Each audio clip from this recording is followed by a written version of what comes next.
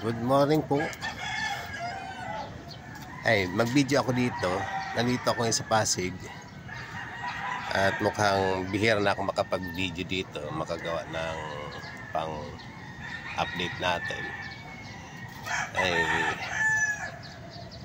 sooner than later, baka iba na kasi ang may-ari itong bahay na to. So, konti na lang na video magagawa ko dito. Ito. Magpo-focus na kami doon sa lilipatan namin doon sa Antipolo. Doon na sa bukid. Uh, so, right now, uh, nag-ano kanina, inarbest ko na yung ano, yung tanim ko na uh, mga turmeric ano na siya yung ito oh ayan ito na yung resulta niya.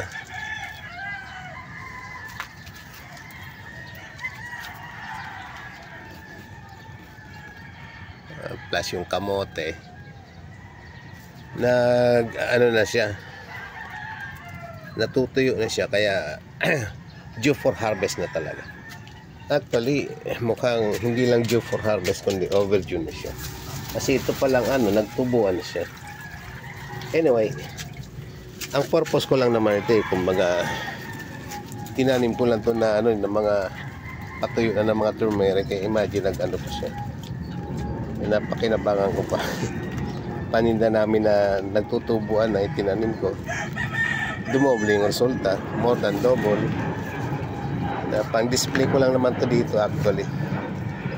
At uh, ito ang resulta. So really nice summer na yun talagang tumubo ng malunggay. Yun yun. You can see that. Ano? Kawawa talaga. Kahit anong dilig ko. And uh, eh yun yung ano yung tuba-tuba. Blooming na siya talaga. So yan ko dito. Ayan itong bagong gawa ko dito na garden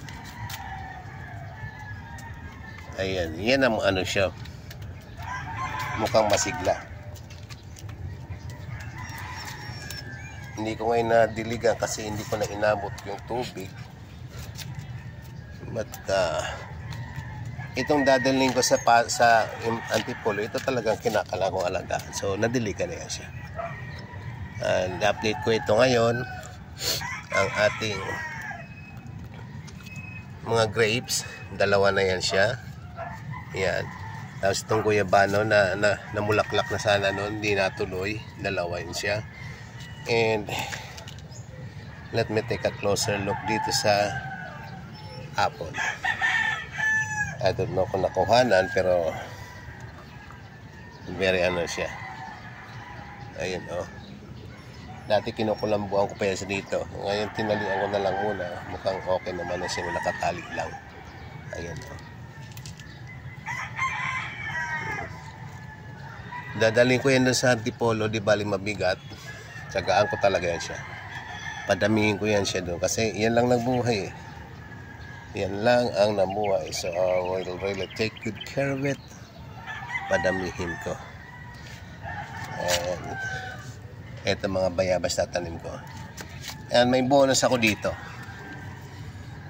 Ito oh, sa luyot. Tinanim ko din lang to na tinuso ko rin lang na binili namin panggulay imagine oh namumulaklak na siya na, na actually fruit bearing na siya. Yan. So dadaling ko to doon tanim ko paramihin ko. Para at least may gulay na kagat kami doon. Yun. So ang bala ko doon itanim mga kamote yung yun sa luyot na yan sa mga gulay-gulay. Kamuting kahoy siguro and ganito ang palaya. Ayan ang palaya. Magtatanim ako doon. Sure yan. So and as usual ay na naman ang ating bida doon oh. si Luna ang ating uh, alpha female dog alpha. Female alpha dog.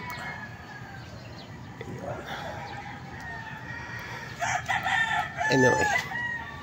Kuha nga tayo dun sa side na yun. Maganda tong ano eh. Side na dinatambay ni Luna eh. Ayun. Oh. Over there.